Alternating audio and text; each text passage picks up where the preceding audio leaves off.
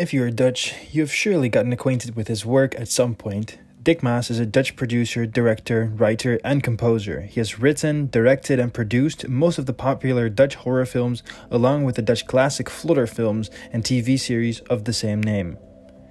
I'm the Pink Reaper, and this is Dick Maas, the Dutch horror director who almost made it to Hollywood.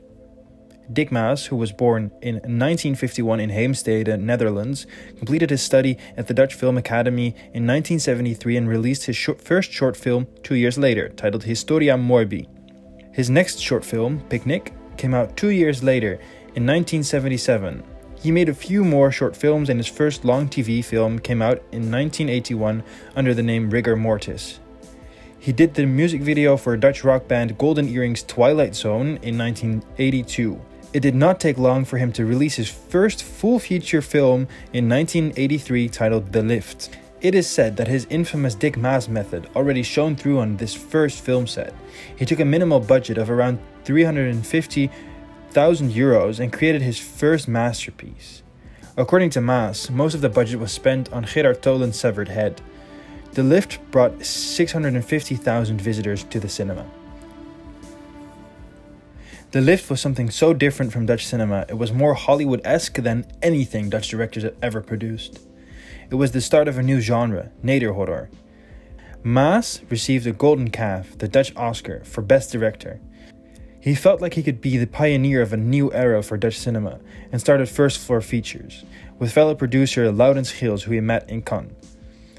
Under First Floor Features, Abel, uh, which was directed by Alex van Warmerdam, came out and scored well, scoring the Golden Calf for Best Long Feature Film. The next film under First Floor Features was Flodder, directed by Dick Maas himself, which earned Maas his second Golden Calf for Best Director. Flodder was a real blockbuster and is part of Dutch culture to this day. Maas was on a roll and had an idea to bring the essence of Hollywood straight to Amsterdam with his next thriller, Amsterdamned. He finally got a budget of 6 million guilders, which is about 2.7 million euros now and support from the municipality of Amsterdam to shoot the film. He was able to hire a real stunt crew from England. He got new motorcycles, speedboats, and even doubled the amount he needed. Though, during the production, he received an offer to go to Hollywood and direct the sequel to Wes Craven's Hollywood blockbuster, A Nightmare on Elm Street.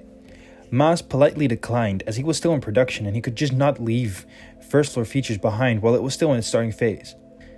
Looking back, he regrets his decision and even said he should have delayed the production for Amsterdamned for this opportunity. Though Amsterdamned turned out to be another hit with almost a million visitors, and Maas had good hopes for the future. First Floor Features had a First Floor Features film factory built, which cost them about 10 million guilders, which is about 4.5 million euros. They built it so they could use it themselves and rent it to whoever else would need it.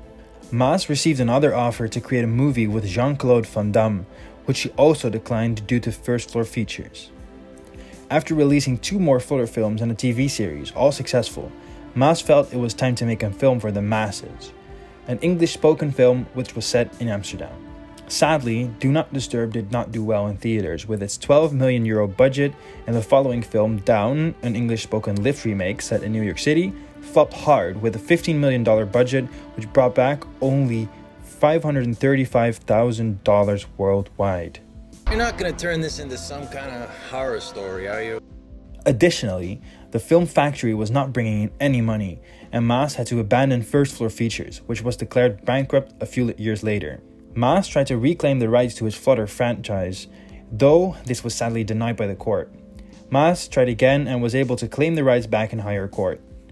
In December 2007, Maas released Moordwijven, internationally known as Killer Babes. Maas still feels like this is his best work, the one movie he would not change a single thing about in hindsight. The film did well, with 400,000 visitors, and it seemed like Maas was back in business. This film was almost called the Botox Method, which later led to the title of the 2020 documentary, The Dick Maas Method. Three years later, Maas released Sint, a controversial movie which was discussed often in the news at the time for putting up its posters which could scare the children who still believed in Sinterklaas. The film pulled its weight with a return of 4.8 million euros on its 4 million euro budget. Maas seemed to be back on track after releasing two Dutch movies that did well. Next, he released Quiz. Even with extensive promotion, only 70,000 visitors showed up, and Quiz turned out to be Maas' first Dutch spoken flop. In October, four years later, Prooi or internationally known as Prey, was released. The movie had no success in the Netherlands with only 31,000 visitors, but the trailer went viral and it was released in China in 2019 after undergoing some serious cutting to remove two violent scenes. It attracted over 1 million people and the film made around 4.4 million euros. Dick Maas said the movie underwent so much cutting that he was surprised that the Chinese market was even able to understand what was left of the movie. It is always a surprise what Maas will release next. He's still considering trying again in Hollywood, as he believes it is too difficult to get any support to create a film in the Netherlands. Thank you for watching this video. Please leave a like if you enjoyed the content, share it with your friends, and let me know in the comments what your favorite Dick Maas film is, or which one you would like to watch. I'm the Pink Reaper, and I discuss horror movies and concepts, often with a historic aspect. Don't forget to subscribe for more content and click the bell to get notified for my next video.